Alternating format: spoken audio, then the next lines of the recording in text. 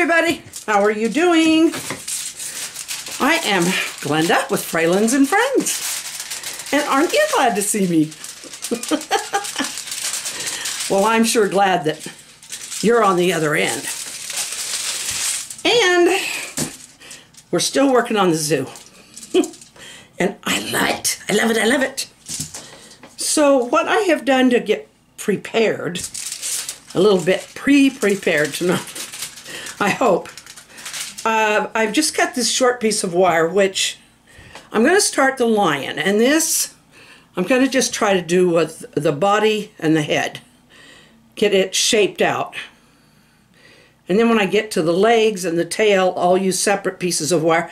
Because we're not working with very big pieces, it just seems to be easier for me to scale if I use the smaller pieces of wire for the legs and tail. But they do need to be there because otherwise they break off. So what I've done is I've started with this kind, I took that sand color that I made for the camel, which is more of a dark sand, but, and I used some white mixed in with it, and I've come up with this kind of buckskin color. So, looks a little greenish in this light, but it's it's more buckskin colored. And I hope this will be enough once I get it covered with all these other things for me to roll out and and get most of him covered up with. Get this to where you can see everything I'm doing. I'm just going to wad this, kind of wad this foil up. I'm going to get it around this wire. Male lions, like the one we're making, they're kind of, from what I've seen, their back end is kind of smaller than their front front quarters. So I kind of want to taper the back end down here. I'm going to try and save that part for the head. Because they've got big heads too. So I'm going to start with this. Let me cut some of that off as far as the body is concerned. Okay, now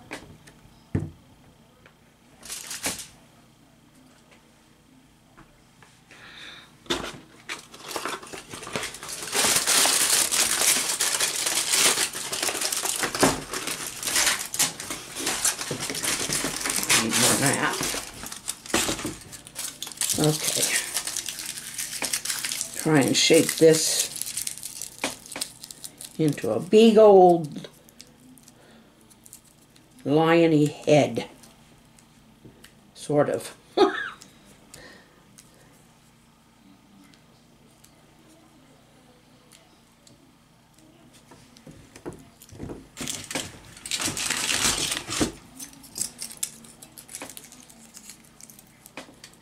We all have our little different techniques, I guess. This one is kind of mine. Uh, you're probably not able to see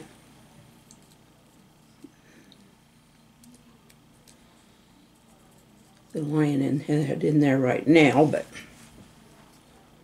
hopefully it will come out.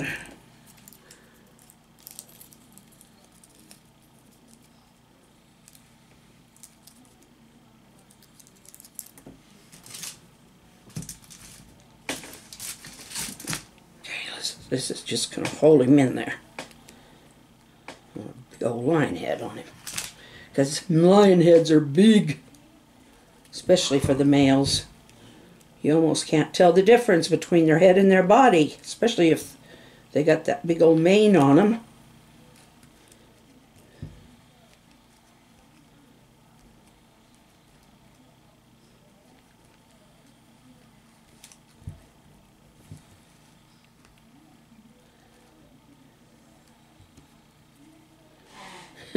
Don't look like much right now, I know.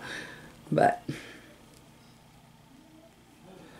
a lion is a cat, so their face is not as, it doesn't have quite as much pointiness to it.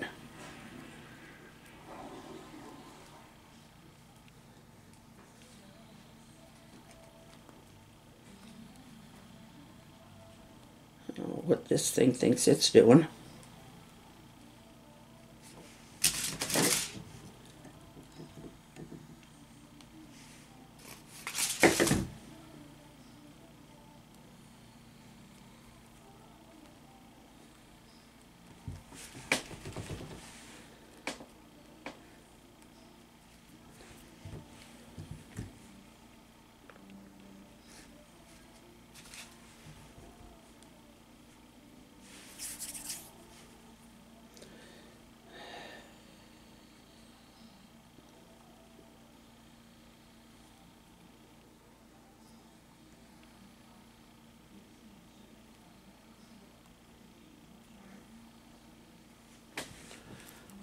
I've got it in camera.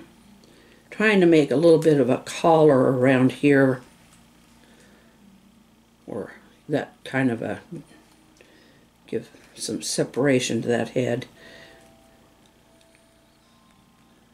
And then there's the lion's face right there.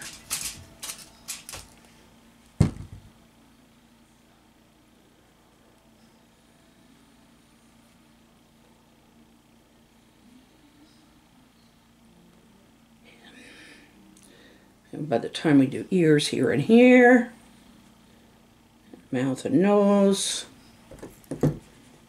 should anchor this in good because I've got the bottoms covered too.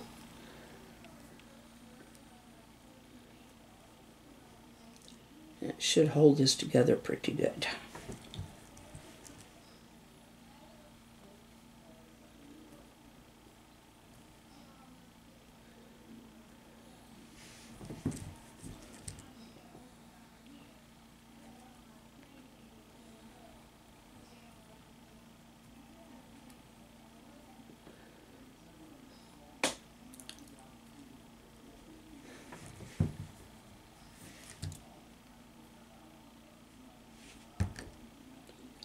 He stands.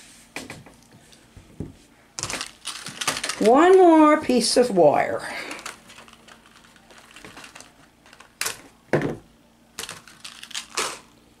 That way, I cut the other one off because this way I can shape it the way I want. Because I kind of want to have him go out, out and down a little. There we go.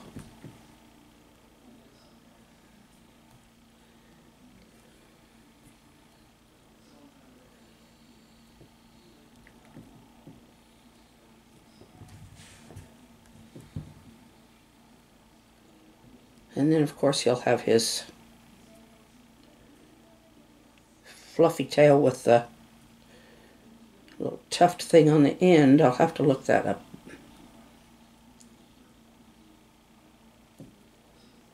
Reshape that down just a little more. There. And there's the beginnings of a courageous lion. So this guy has to be baked for a while. So I think this will be our progress for tonight.